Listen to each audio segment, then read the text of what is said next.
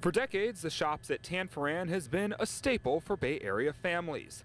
But all that is set to change. The San Bruno Mall was recently bought by a Los Angeles based developer and will soon be transformed into an office campus for biotech firms. Honestly, it makes me feel kind of sad. The news has come to a shock to Vicky Isa, who, like other local customers, has many memories here. I remember as a kid, um, we would play in the playground, like the mini playground, and then I, there was a train, and me and my brothers would like ride on it when we were kids. But it's not all sad news, says San Mateo County Supervisor David Canepa. Tremendous, tremendous opportunity. Canepa says once complete, the new office space will bring in a slew of high paying new jobs, a big win for both the city of San Bruno and the county. But it's not just about those new jobs that are coming in, it's also about those that are going out. Several people tell us they don't want the rest of the community to get left behind.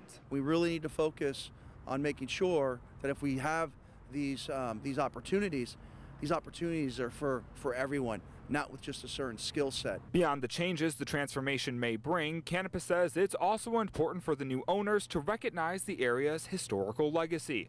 Long before becoming a mall, the spot served as an internment camp for Japanese Americans during World War II. Whoever purchased this property needs to recognize the history, the history and what happened here. But while the shops at Tanforan are still shops, many here say they'll keep enjoying it while they can, making memories the same way they've been doing so for years. This was a place that brings back a lot of uh, nostalgia and great memories.